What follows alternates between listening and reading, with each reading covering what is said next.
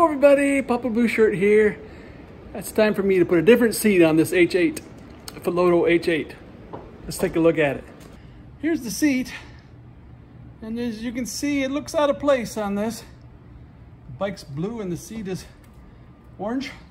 It's because that was off of my Ecotric. but I got a new seat. And there's my new seat. So that will match it really nice. Look at that.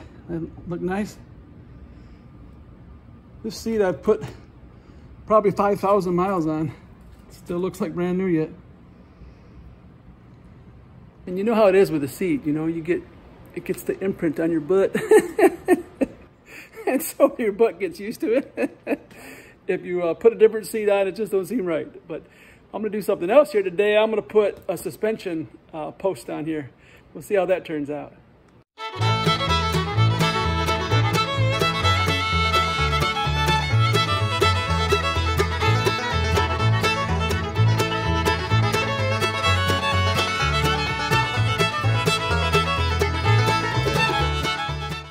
Pretty easy. Now all I gotta do is adjust it. Get it dialed in here. Let's see how it how it feels. I just rode down my rain washed out driveway. Oh, the seat is the seat post is wonderful.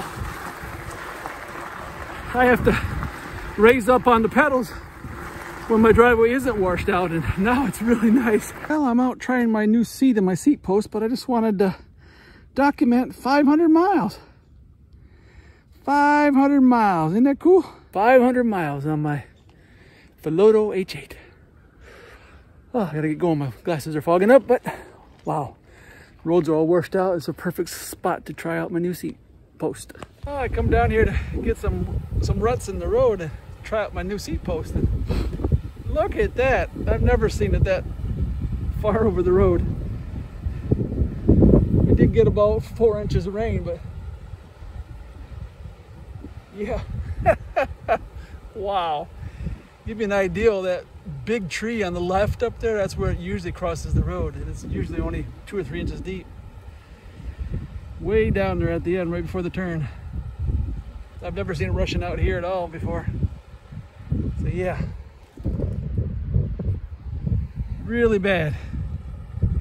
But this seat really nice. I find myself uh, sitting in the seat a lot more, but on the really big bumps, you got to get up because it's just, it kind of flops you because the whole bike goes all over the place. I'm talking about 18 inch deep ruts or 12 inch, 12 inch deep ruts, you know. Uh, anyways, I love it. Here's the deep ruts I'm talking about.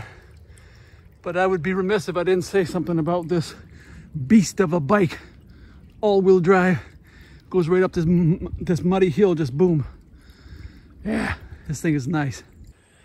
My only regret is that I waited so long. I didn't do it 11,000 miles ago.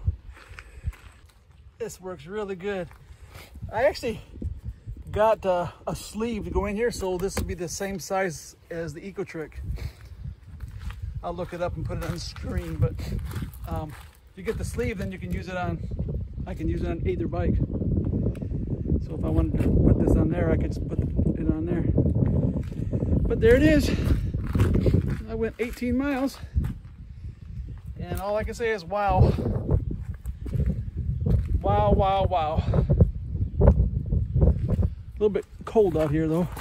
One I got come with a nice little cover here. Make it look nice. But it looks good without the cover too. All right, this is Papa Blue Shirt. Thanks for watching. And I'll leave a link for those down below in case you're interested. And may the good Lord take a liking to you. The good Lord take a liking to you. Hallelujah. May He spread His blessings on your trail. Hallelujah. May He be your guide anywhere you ride and be always your host when you're needing Him most. May the good Lord take a liking.